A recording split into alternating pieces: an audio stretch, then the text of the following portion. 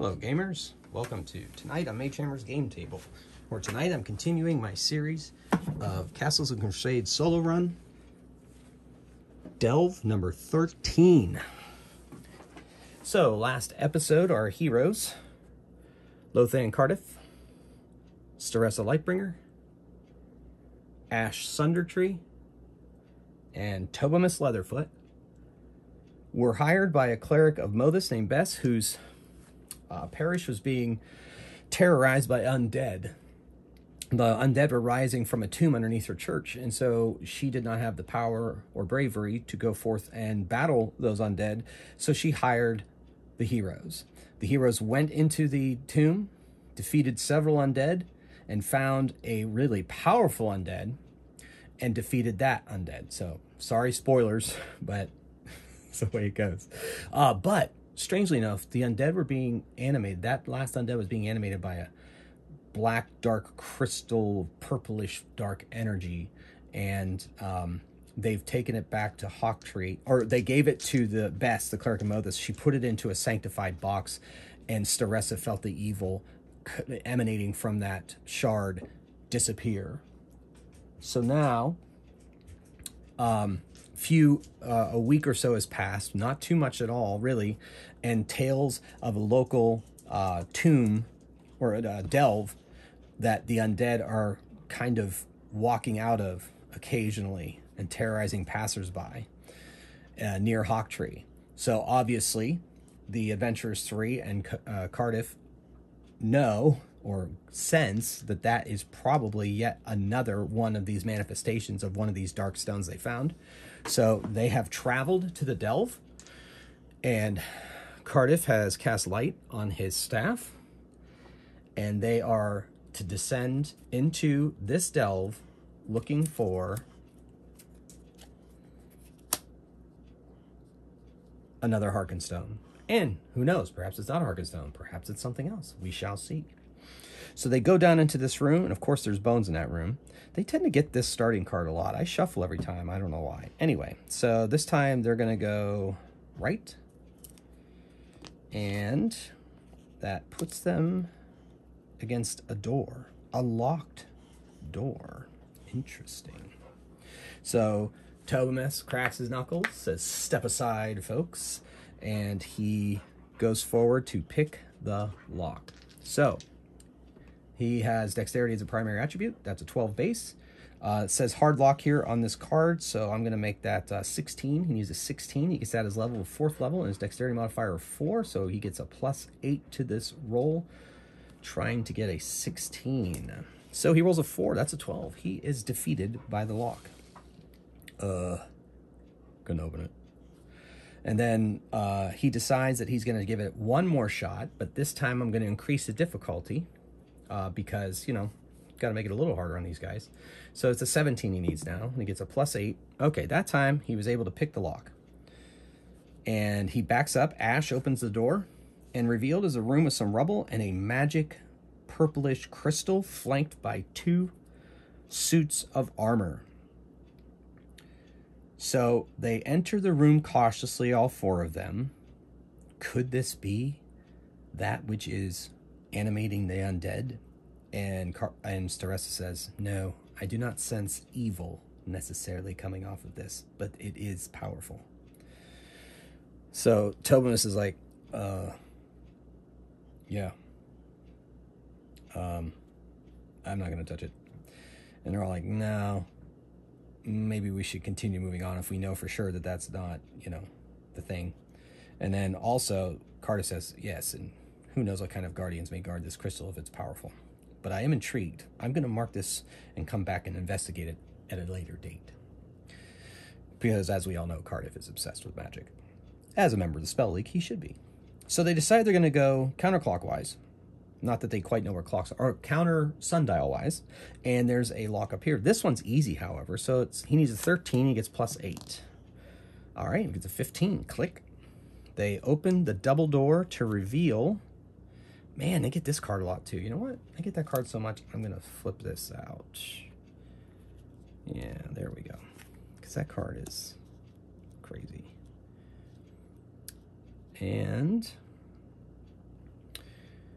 there's a gun before a door, and they, car, or, uh, Tobimus listens. Uh, there's somebody uh, talking or whistling. I hear whistling. So they open a door and they see one of those pit rooms, and they and they smell as soon as they open the door cooking meat, and there is a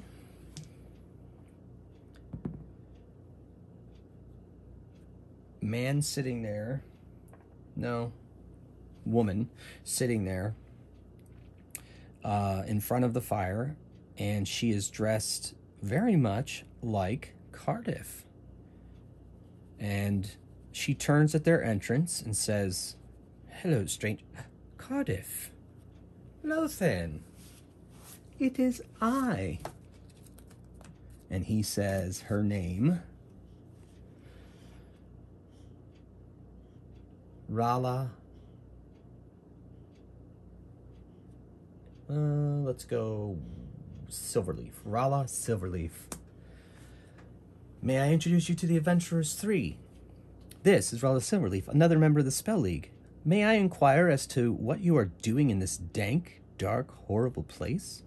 And she says, Perhaps the same as you. I've come listening to the reports of the undead walking in this area. But I found this most interesting spell book in this chest. And at this at the mention of spell book, Lothan's his his eyebrows go up. Oh, really? As we all know, the Spell League, for those of you that haven't watched some of my other videos, Spell League is a group that is dedicated to finding and um, cataloging and preserving all of the spells and scrolls that they find scattered through all the many ruins and dells in uh, this in the world. Said, yes, um, it's intriguing, um, and I believe it is a spell book of a person who preferred necromantic spells. Ah, interesting, says Lothan. So, have you seen any undead? No, this is as far as I've come. Uh, I tried to get through the lock into that other room off to the east, but I could. It foiled me, and I do not have a knock spell ready. Yes, yes, uh, our halfling friend here got us in there. There's a magic crystal you may want to investigate a little bit. Yes. Well, enjoy your dinner. She goes, Well, will you join me? Well, we have traveled far. What say you, Adventures 3? Ash is like, Let's go. I want to go. Find the undead. We must stop this menace. Well, thank you for your offer. But we shall continue on. Do you know what lies beyond the double doors? No, like I said, this is as far as I've come. Well, enjoy your dinner and hope to see you back at Spell League headquarters. Yes, Hawktree is nice this time of year. So they go through the door, and on the other side is a hallway that leads to another locked door. So, uh, very hard lock. We're going to say that seven. It has a, it has a CL of seven. So that's a 19 for Tobimus to pick, and he gets plus eight. 15. So he does it. Click. It takes him a while, but he gets it. Then he listens. Hmm. Uh, I don't hear anything. And then Ash opens the door, and revealed in this room are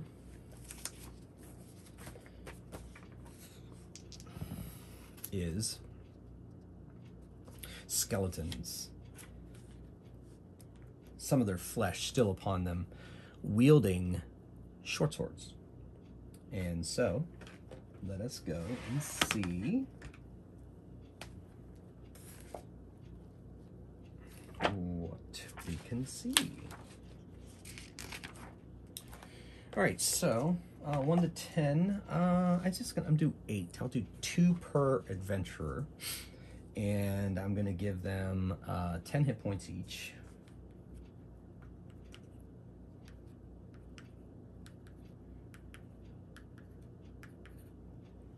Okay, that's eight, 10 hit points each. And they start towards the party as soon as they open the door.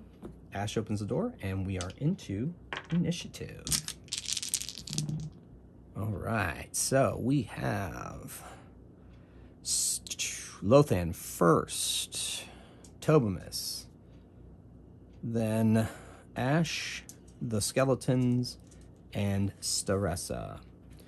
Lothan, uh, he is not, well, he's only got two charges left on his one magic missiles. He's going to save that. He doesn't feel like using a spell slot. But instead, he's going to cast invisibility upon himself. Second level spell. He is invisible. And he's going to move. Oh, wait. If he, No, he's not going to move. He just casts spell, invisibility done. Because if he moves, he has to make a concentration check according to my house rules. Tobimus lets loose with his crossbow. Hits and he does half damage against these puppies. And that's a three damage. So he hits one for three. Then we go to Ash. He rushes forward with blinding monk-like speed and smashes into a um, skeleton with his fists. He hits armor class 14. That's enough to smash through the defenses of this walking skeletal body. And he does D8 plus three. He does nine damage. Oh, almost took one down. And now he stands amongst the skeletons and they attack. Um, some of them move forward to try to attack the people near the door, and three of the skeletons attack Ash. Armor class 14 for Ash. And he is hit by one of them. He takes a d6 damage. Six damage. Ouch. That hurts. So he takes six damage. He's down to 40 hit points. Remember, he is fourth level.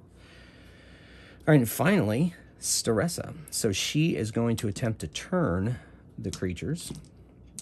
And she needs to make a 12, 13, um, 13, 13 turning check. She gets to add one she's third level paladin, but I mean she's only first level cleric for turning undead purposes. So she adds her wisdom bonus plus her level is plus three, and she needs a 13. And she gets a 12. Look at that, kids. Ouch. So she is unable to turn them, so we go into initiative. I think she's looking forward to being able to have more power from her. Man, she's having a bad day so far. All right. All right, so Ash is going to punch the one he punched before he hits. He smashes it to the ground. It drops because it is, um, it only had a single health point left, hit point left. Uh, I can't wait for him to hit uh, another level or two so he can get multiple attacks because, you know, that's cool. All right, then the skeletons, three of them attack Ash. Uh, one hits, the other one miss, the other two miss. He takes some more damage, and it's three damage this time, so he's down to 37. Then, um, um, so they've moved up, and one of them attacks uh, Staressa. Well, now we're going to have two of them attack Staressa, three attacks Staressa, because they just don't like her. One's going to attack um, Lothan. These are attacks on Staressa. Ooh, one of them got through with a 20. Ouch. The other two missed. So she takes 5 damage. That makes that uh, 26 hit points left. All right. So, and then uh, Lothan gets... Um, one attack by a stray skeleton. Oh, a crit. Of course it's a crit. Of course. I love it. All right, so uh, six, eight damage. He takes eight damage. Boom! Dang, he's got to get out of combat fast. All right. So, uh, I believe that's the end of the round, it looks like. Or did Tobimus attack? No. Oh, wait, these three have to attack. I moved the dice out of the way. So Tobimus is going to fire off his crossbow at the one attacking Lothan. He hits it. And he does one damage. That's not stellar. All right. But hey, got to do what you got to do. Then uh, we're going to go um, Lothan. He slaps, he, he swings his staff at the one in front of him, his lighted staff, and he hits armor class 10 and misses.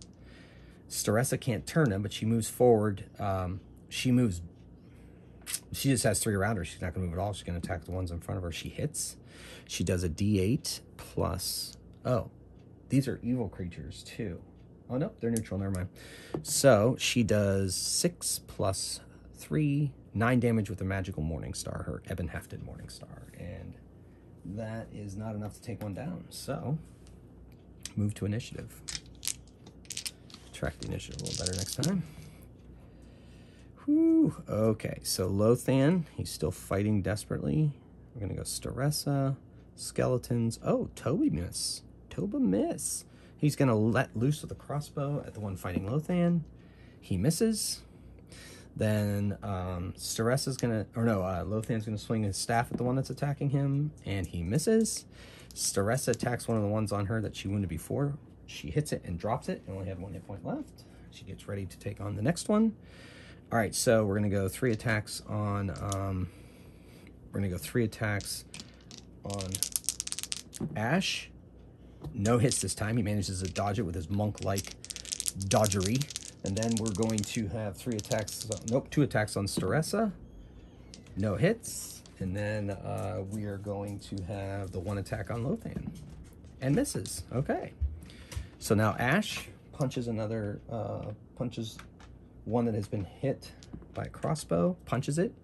It's a d8 plus three. Cracking skulls, literally. Uh, four. Not enough to take it down. Disappointing. All right, here we go. Initiative. Skeletons swarm around them, slashing blades, flashing spells, cries, war cries, gasps of pain. Lothan with his staff. Oh, did he finally hit? He hit. Smacked it. And does five damage. Whittling away. Staressa attacks one in front of her. And 12 just misses off of its scrap of armor. So now their attack, uh, th three attacks on Ash, one hits. Dang, he's taking a beating. So, with his short sword, five damage down to 32 hit points. Could it be? Could it be? All right.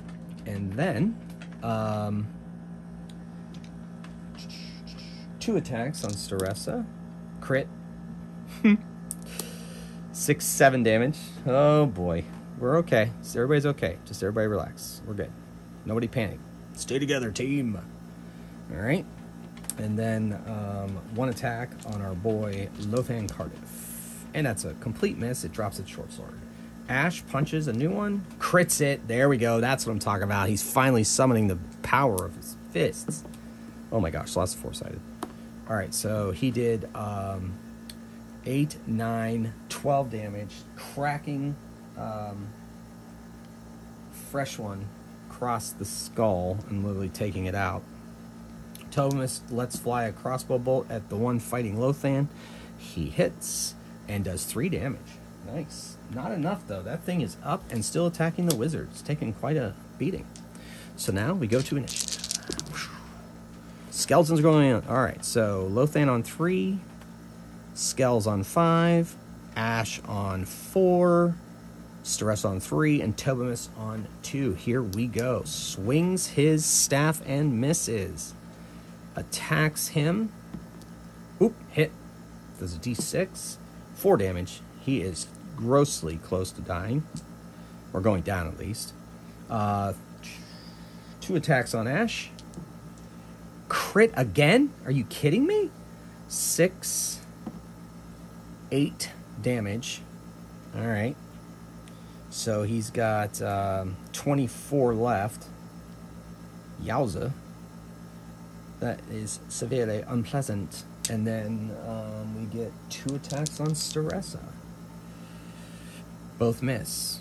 All right. Ash, punch it out, baby. Misses. Then uh, with her Morning Star cracks one pretty hard. Does, of course, a 1. She rolls a 1, so that's uh, 4 damage. Um, it is not enough to take down one on her. So she still has two remaining on her. Tobimus, let's fly with a crossbow bolt at the one attacking his buddy Lothan, and it misses. Okay, skeletons go first. Staressa next.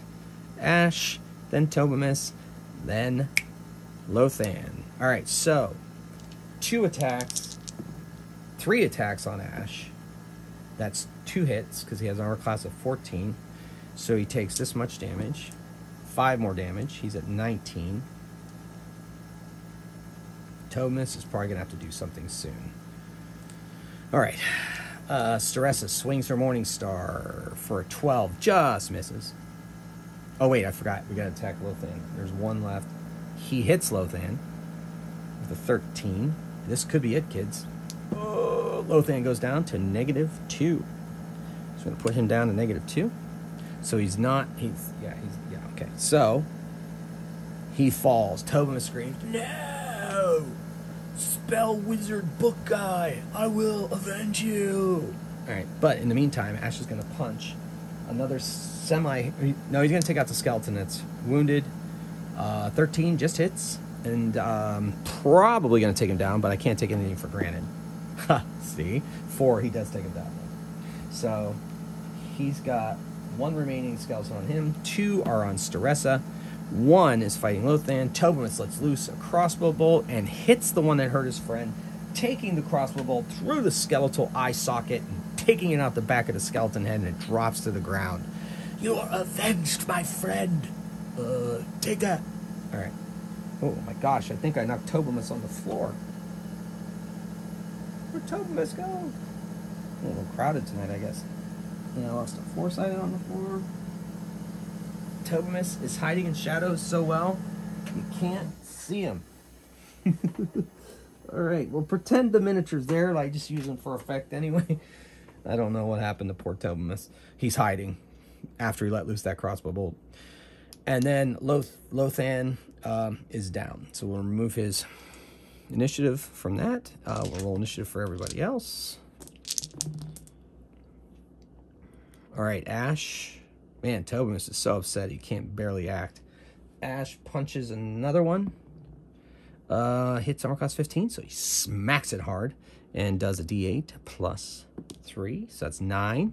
Doesn't quite fell it, but he's making progress. So one attack on him, missed. Uh, two attacks on Staressa. Ooh, one of them hit. Man, they're getting through that hefty defense of hers. She's taking some damage. One damage. That's just a glancing blow. She's at 18. All right. And then Staressa swings and hits. Does a D8 plus 3. Smacking sound of bone cracking. Oh my gosh. I got to stop rolling that die. 4 damage. Uh, still not enough to take one down. It's getting annoying. Tobamus, um, since he took down the skeleton, he runs over and he uses the heal the dwarven healing stone the party carries to uh, bring Lothan to uh, zero hit points. Lothan moans a bit as he still lies upon the floor, and that was Tobamus's um, action. So now we go to here. We've got Staressa, we've got Tobamus, we've got skeletons, and we've got Ash. All right, so Staressa swings and 12 just misses.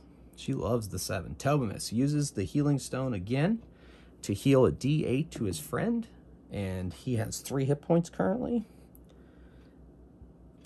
And he's up. I mean, he's not up, up. His, his miniature's up. He's lying on the floor still. Then, um, the skeletons attack. Uh, two attacks Staressa, and the gray one is Ash. Hits Ash, misses Staressa. Does a d6 damage, takes 6 damage. Dang, man, he's taking a pummeling from these things. They're slashing with their short swords. He strikes back. Ooh, that's a nice hit. Boom! Punches it right in the skeletal face. Yeah, baby, for 11 damage. And he drops another one. Two remain, both fighting Staressa. Initiative. see who acts first. Okay, we got Ash. He's on a roll. Tobamus. We'll go Staressa, then the skeletons. Ash unleashes. He hits with a 15. Uh, he does a d8 plus 3, 6. He smashes down one of the ones attacking Staressa. There's one skeleton remaining. Tobamus uses the healing stone again to heal his friend back to 11 hit points. Oh my goodness, I just knocked Ash on the floor. Okay. All right, cool. That brings us to Staressa. She swings at the one that she's fighting. She hits it and does seven damage to it, cracking open its rib cage. And then it attacks her, and 16 just misses. Initiative. Oh, we get to put uh, get to put our boy back in, Lothan. Oh, look at that! Lothan's upset. Does not like coming to the brink of death. I mean, who does really? All right, so Lothan stands up. Ugh staggers over to the skeleton that's near him with by Staressa and swings his and hits and does five damage, dropping the skeletons to the ground. So that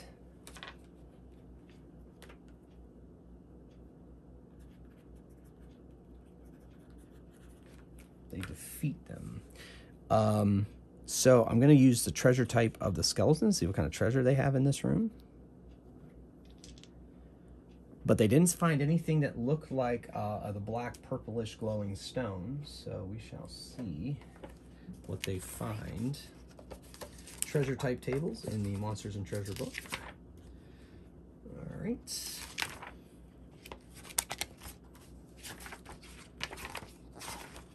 All right. I used to have a bookmark in there. Apparently that bookmark is now gone. There. Oh, bookmark's there. Sorry. All right, so here we go. I'm to roll there. Treasure 1. I'm roll some percentages here. So 15. So there is gold, 2d4 times 10. They find it in um, a wardrobe over there. 60 gold pieces.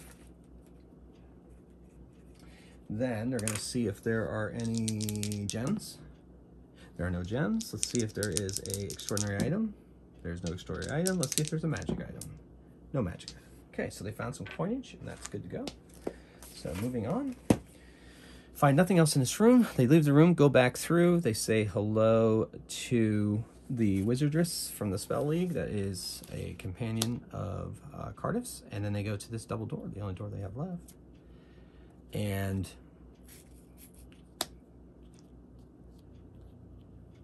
before they go down this dark hallway that's lit by Cardiff's, they decide they're going to heal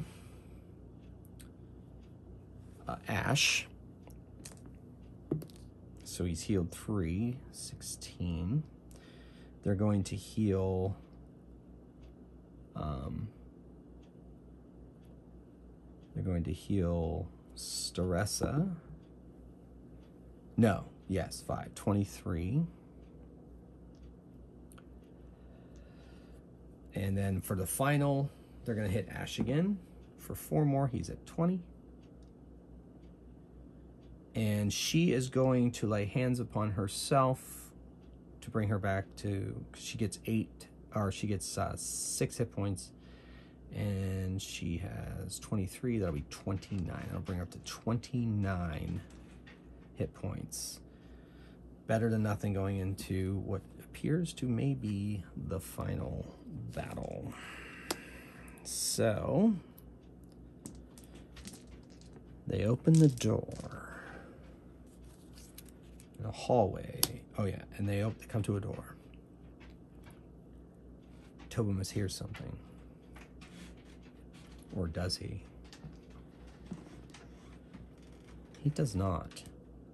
They open the door. Cardiff's light shines into the room, making the room seem as if it's moving. There's a treasure chest across the hall revealed by his light, a shattered table, a shattered uh, storage cabinet, bones, of course, bones. Not enough to bring him together into a skeleton. And then, floating in the middle of the room is a black and purplish stone. And what is it doing here? Cardiff is like, we must get that stone and get it out of here. And Staressa says, Hold a moment, wizard. I sense evil. Okay. Careful, adventurers three. There is great evil here.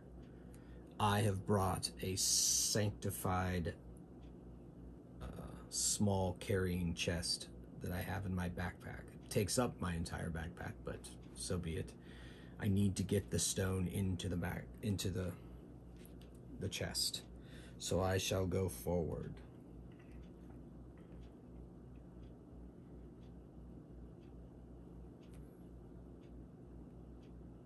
Oh, I turned Cardiff invisible, didn't I? And then, but I must have swung the. I bet I swung the staff before we did it. Oh well, sorry. Chaos of combat. Okay, so she walks forward, and suddenly it's if the shadows come alive, and indeed shadows move towards them. As the shadows move, Ash recognize. Ash detects little dark, shadowy tendrils that are reaching out from the black slated stone, animating the shadow souls as they three of them move upon Staressa. So there are three shadows, and they are that many hit dice.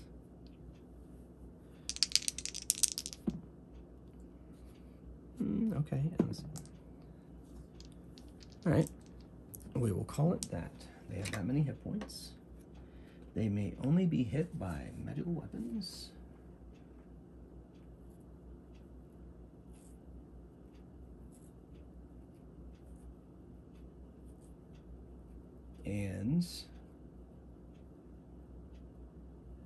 Yes, there are three of them. They have moved upon Staressa. They all attack her, reaching out with their shadowy hands and none of them are able to touch her. She dodges about. She gets plus two armor class against these foul, evil undead. We are now rolling initiative. All right. So, Staressa is first. Of course, she's moved by such horrific evil. So, she is going to attempt to turn the shadows. In the name of Palin, God of goodness and light, Begone, you foul undead. So she gets a uh, it's a 12 to turn them. She gets uh, 12. Actually, it's a 15. They're three hit die creatures. So 15 to turn them. She gets a plus three to this roll. And she does. The shadows streak back to the walls as far away as they can. It uh, turns 2d4 of these undead and it does turn. Yeah, there's only three of them. That was a five, so thank goodness it wasn't a two. That would have been very undramatic. All right, the shadows scatter to the walls, and it is now Lothan's turn. Um, he goes forward. He is, and he pulls on a, he pulls on a glove, and reaches for the stone, and puts it into the chest that Staressa has open. She closes it and she says, The evil is contained, but we must get it out of here before more undead appear. Well, let us go quickly, quickly, all. So they make their way out the double door. As soon as they enter this room, there is the Spell League friend of Lothan, um, Rala, Silverleaf, and she says, Oh, I'm so sorry. I cannot let you leave here with that stone. I have need of it. He's like, Rala, what are you doing? Only what needs to be done to bring death to the world. Oh, that's so cliche, Rala. Hand it over or die. Very well you die. Initiative. All right. so we're gonna give her. Um,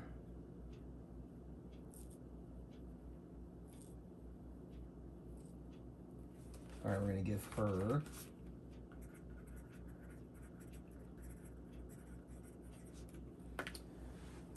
This many hit points. And we're gonna give her some spells in my head. All right, here we go. Oh, I rolled. Did I roll initiative? Oh, I roll initiative again. All right, she rolls a five. Stress an eight. Lothan a five. Tobimus a five. And Rala a five. And Ash a three. So Staressa says, I cannot allow anyone who seems to have evil intent to take this stone from us.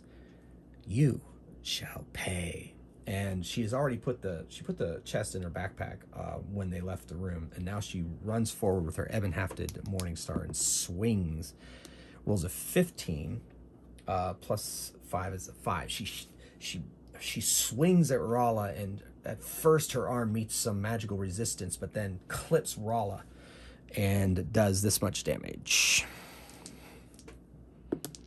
Oh, not great, but okay. All right. Then Lothan is like, hmm, I suspect you have a shield spell up, so I'm going to fire an acid arrow in your face. And he hits a armor class. It's a touch attack, but she has shield. Shield up. It will protect against ranged attacks. He knows this, but it won't. It doesn't completely foil it, just like it would a magic missile. So let's see, let's double check the armor class of shield against a magical.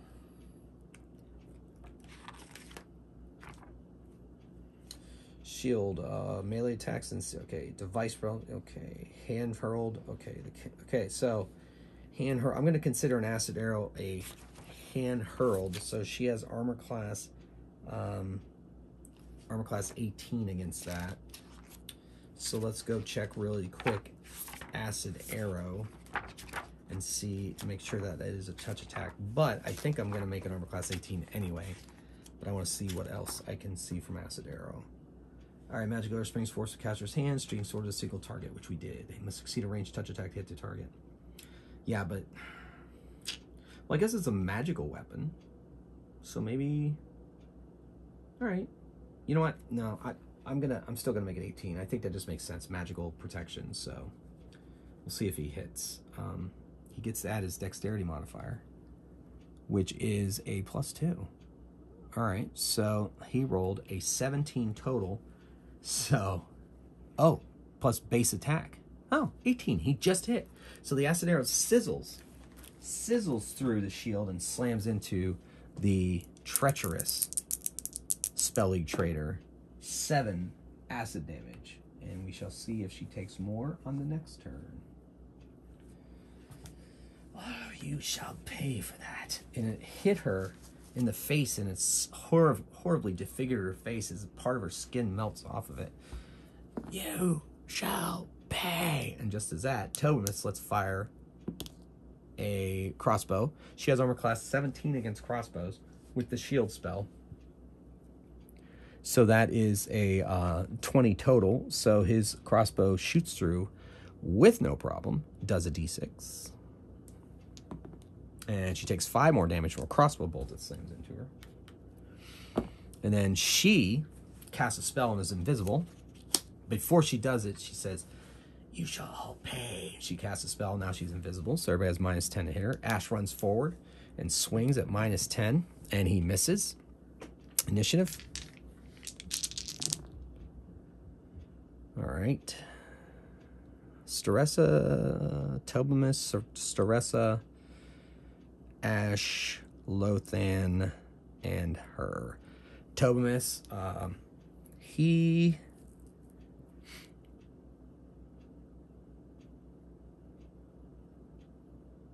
he goes invisible with his ring of invisibility. Two can play at that game. And he activates that, and we'll call it that. All right. And he moves or sneaks. Okay, well, maybe he doesn't. uh, Staressa is like uh, she she doesn't have spells. I keep. I always in my head for some reason think that she's like a cleric. It's so strange. Uh, she can detect evil though, but is this woman evil or is she just selfish? So she's not going to spend the time doing that. She's going to run forward to the last place she was and take a swing at minus 10. She misses. Ash, um, Ash has he has he has increased perception as an elf. So I'm going to give him a wisdom check to see if he can detect her. Um, so I'm going to make that an 18 because that's his. It's not a primary attribute for him, and it's 18 and it's very very it's like yeah it's a 28 i'm just gonna roll he needs to roll natural 20 and he doesn't. All right. And um, so he doesn't sense her so he just runs up to the first place last place she was and he swings and misses and then lothan he had or she's burning by the way 2d4 since he is third level she takes that much more damage. Manages not to scream out in pain. And then Lothan, um,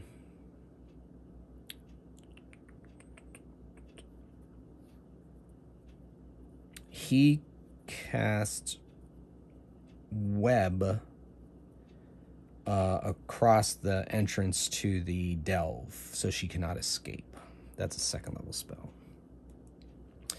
It's her turn. Uh, she um,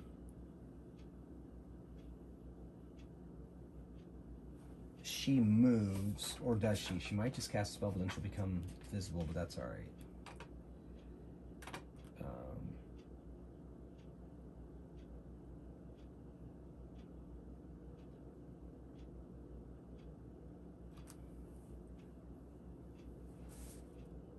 she needs to get through that web. She's damaged greatly. And so she is, I'll give her burning hands and suddenly she becomes visible. She's standing in front of the web and she burns out most of the web with her burning hands. And that is initiative. Tobimus, he ain't messing around, baby. Lothan, she might have a chance to escape if they don't take her down. Uh, she is facing the web, and I think shield spell doesn't. Shield spell has to be in front of, or does it? Let me check. And shield spell like protects her from behind as well. I don't think it does, but I need to check. Attacks from the side or rear are unaffected. Yep, that's what I thought. All right, so Thomas is gonna let fly with the crossbow bolts. Oof, he hits her. Uh oh, this could be it. Two. Oh, she's still up. Ah, she's like, ah, that hurt. Lothan is like, if he goes behind, he move, he has to move 15 feet to maneuver himself to be able to fire off a magic missile at her and hopefully take her down, so that it's not affected by the shield. So he's gonna have to make a concentration check against intelligence, which for him is a primary 12. Um, he's casting a first level spell, so the the challenge level would be 13, and he gets plus six to this.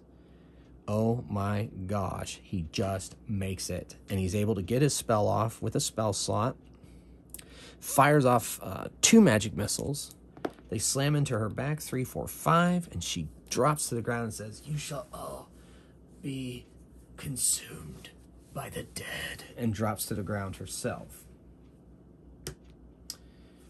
Lothan walks over, finds the uh, necklace of an open book rips it off, says, You are not worthy to wear this. Finds all of her magical writings, puts them in his own pack, and says, We now need to leave this place. It is spoiled for me. Traitors are the worst kind. They would take knowledge for their own. They're worse. She's worse than the archivists. And so they go out. They go back to the um, they go to the church of Palin that is located in Hawktree, the Temple of the Shining Light.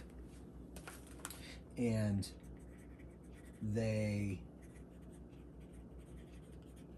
give it get put the box into the into the church's uh, vaults to keep it from being able to be released and is well protected here by many clerics and paladins of Palin.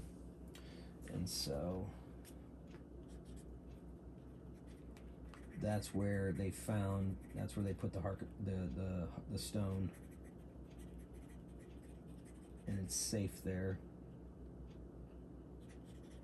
All right so they they they're going to have to decide what to do. They, they feel like they should reg- they need to get more information because this is this is getting to be strange and obviously something's afoot. So that's what they're going to do before the next adventure uh, once again, ladies and gentlemen, thank you for watching.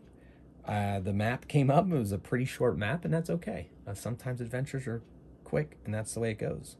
But in the meantime, I thought it was pretty harrowing, actually. That first battle with the skeletons I thought was awesome. And then uh, I'm loving how the story's advancing in my mind. I'm pretty excited. A lot of them I'm making up as I go along. Obviously, uh, that that seems to be working so far. So hopefully it continues to be just as exciting for me, just exciting for you as it is for me. All right, ladies and gentlemen, thank you so much for watching. I appreciate all the comments. I appreciate all the interaction with me. I'm glad you're enjoying the series as much as I am. And until next time, keep on rolling dice and playing games. Magehammer out. Thanks again.